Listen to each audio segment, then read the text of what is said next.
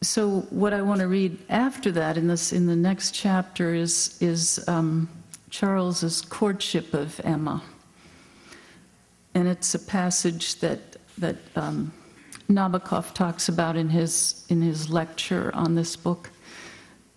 He was quite helpful. In, but then I then I, I trusted him too much and found that he, he wasn't really always right. So I had to back off a little bit, my utter trust.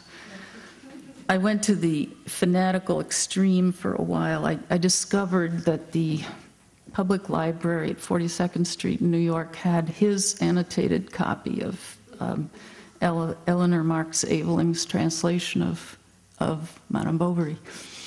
And I thought, oh boy, you know, I'm going to see, uh, because that's what he used to teach with, but he annotated it very heavily, wrote in the margins, and, you know, said, oh, translators, you know, there's, he got very annoyed with her.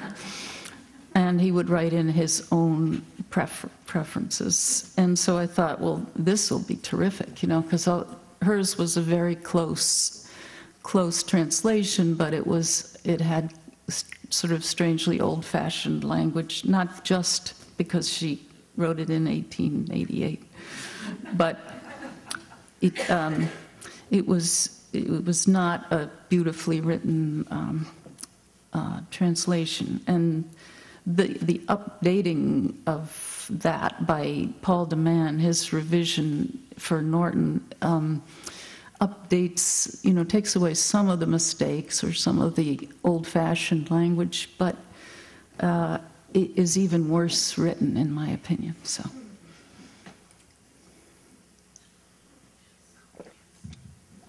I get very opinionated about all these translations. Um,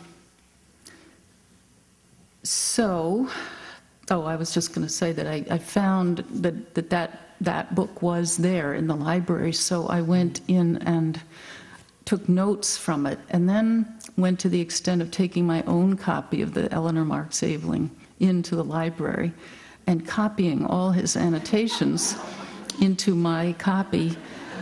And I did this for a couple of days, you know, and I don't live in the city, so this was a three hour trip to get in and do this.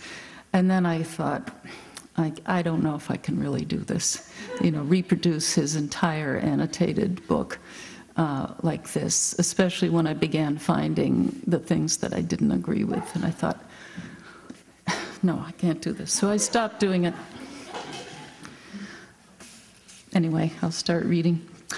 And then I'll talk about one or two things in the passage. He arrived one day at about three o'clock. Everyone was in the fields. He entered the kitchen, but at first did not notice Emma. The shutters were closed. Through the slits in the wood, the sun cast over the flagstones long, narrow stripes that broke at the angles of the furniture and trembled on the ceiling. On the table, flies were walking up the used glasses and buzzing as they drowned at the bottom in the dregs of cider. The daylight that came down the chimney, turning the soot on the fire back to velvet, touched with blue the cold cinders. Between the window and the hearth, Emma was sewing. She wore no fichu. One could see, oh, sorry, on her bare shoulders, one could see little drops of sweat. I'm actually going to stop for a minute. Um, the reason I stumbled was that I've been revising this, this hardcover for the paperback. So.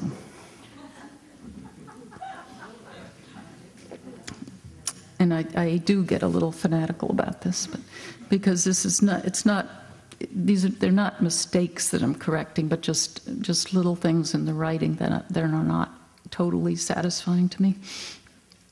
But to comment on this paragraph, um, Nabokov did not like or strongly objected to the fact that in some of the translations the flies were crawling up the used glasses and he said, you know, flies don't crawl, they walk.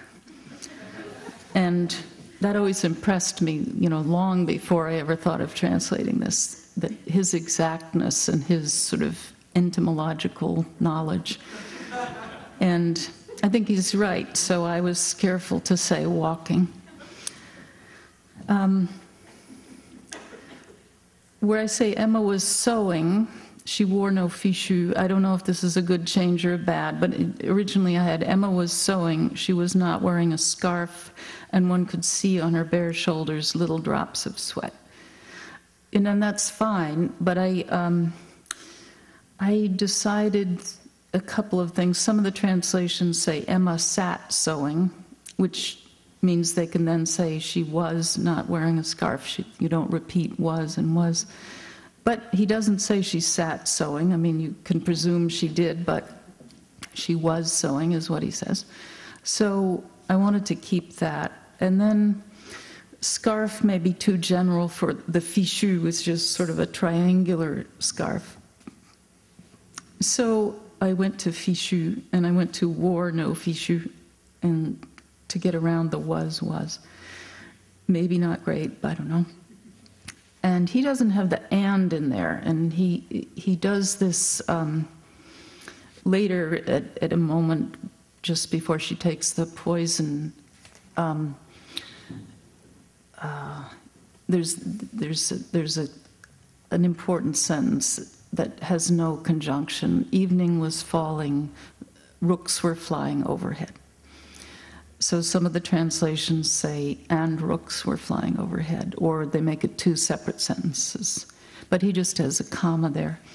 And he often leaves out the conjunction and um, uh, what a, a copy editor friend of mine identifies as the comma splice.